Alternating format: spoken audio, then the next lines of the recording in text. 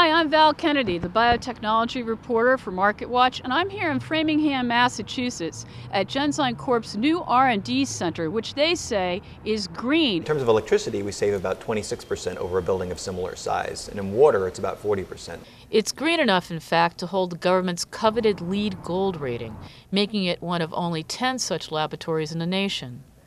Rich Gregory heads up research for Genzyme. What specifically makes this facility green? So almost anything you can think of from the initial construction all the way to the way we operate it today has an element of green in it. When we built the building, we remediated a brownfield site. Mm-hmm. We also, uh, when we designed the building, put lots of parking spaces out there that are preferentially used by hybrid vehicles and carpools. We use electricity, as we talked about. We use less water. In the construction of the building, we use materials from uh, certified forests or recycled materials. For example, all the door frames in this building are from recycled materials. The building is very smart. It has a computer control system that senses the level of natural light coming in from the outside and it modulates the interior lights to compensate. So on a very bright day, we hardly use any internal lighting in here at all. The fume hoods that we used to use in our laboratories used about as much energy each as a house or maybe two houses.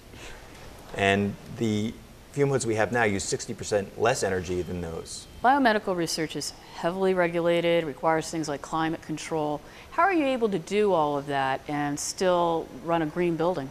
So on top of this building, which is six stories tall internally, it looks about almost eight or maybe eight and a half stories tall from the outside. There are two very large air handling units up there that are responsible for uh, very efficiently extracting the energy that's used to either heat or cool the air and reusing it with the incoming air. Why go green? What's in it for Genzyme?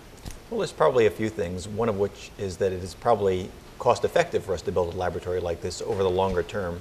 We use a lot less energy to run the laboratories and we use a lot less water in the building and over time that should pay us back.